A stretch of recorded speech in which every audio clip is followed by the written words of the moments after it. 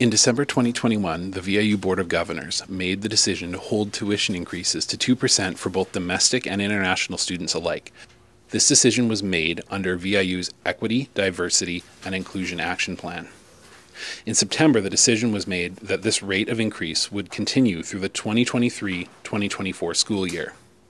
Which is why VIU Student Union was surprised to see a last minute 5% increase slipped into the Board of Governors December meeting agenda.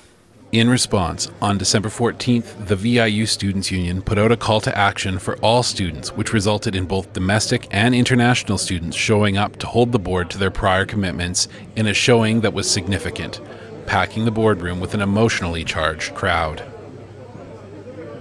It took us less than 24 hours to put this together.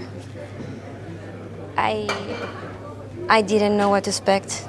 I just knew that I had to do something and to voice it and to gather, send messages and just voice it and, and whomever show up will show up. If they make the time, whatever. But seeing the people coming together as a community, it made me feel that the purpose was done. That build up community was done. Showing up for each other is the best that we can do and they did. I got the message that I was doing this presentation last night. And so today in the morning, I'm a business student. So I realized that I'm fighting almost a million dollars today.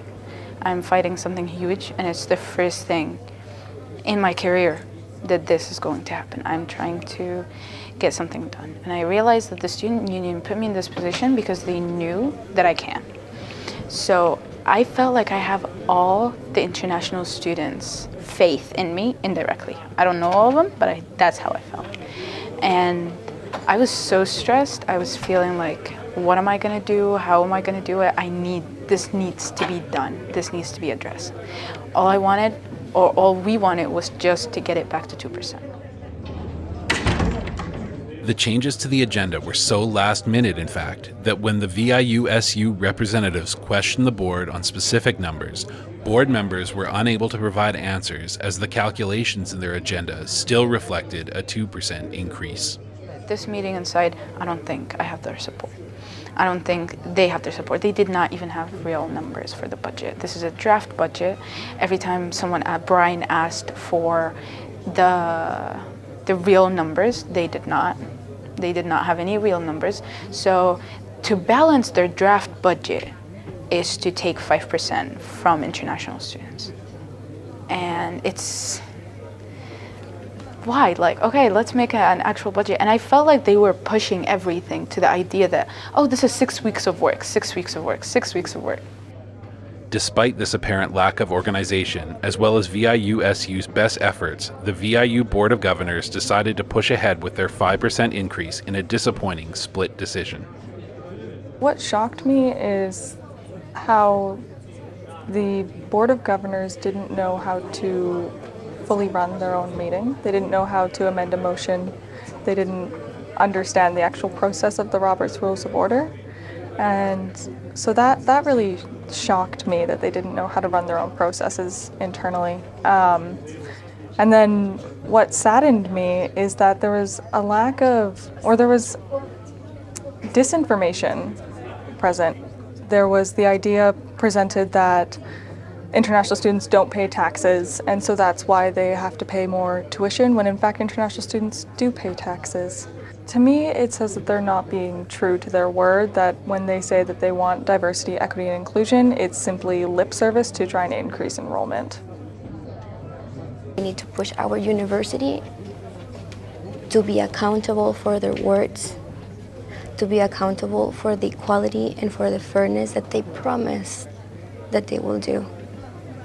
And that sets an example for a strong, valued, university that we can be feel proud of being part of. What do you say to international students who are hit with this increase? I'm sorry.